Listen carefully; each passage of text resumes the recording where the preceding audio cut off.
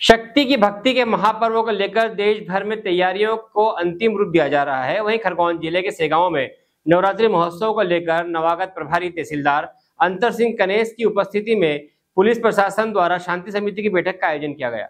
इस अवसर पर नायब तहसीलदार सरदार सिंह मंडलोई, चौकी प्रभारी भोजराज परमार, माताजी समिति अध्यक्ष, जीवनलाल शर्मा सहित शांति सुरक्षा समिति के सदस्य मौजूद रहे। बैठक में पुलिस प्रशासन के आला अधिकारियों ने शासन के नियमों से अवगत कराने के साथ ही शांति और सद्भावना के साथ त्योहार मनाने की अपील की। वहीं चौकी प्रभारी ने गरबा पांडालों से साउंड सिस्टम की अनुमति लेने और प्रसिद्ध लालबाई फुलबाई माताजी मंदिर परिसर में गुटका पाउच की बिक्री नहीं करने की हिदायत दी। सेगावा से भूपेंद्र अग्रवाल की रिपोर्ट। अगर आज बैठक रखी गई। क्या व्यवस्था के लिए निर्देश दिए गए?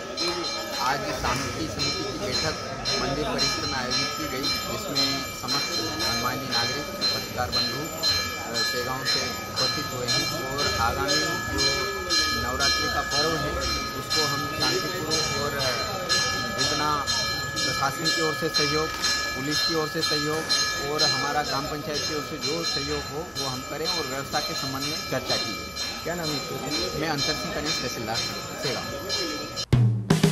हेलो फ्रेंड्स आप देख रहे हैं हमारा channel S W twenty four news हमारे सारे वीडियो सबसे पहले देखने के लिए आप हमारे चैनल को सब्सक्राइब करें और पास में लगे बेल आइकन को दबाना बिल्कुल भी ना भूलें।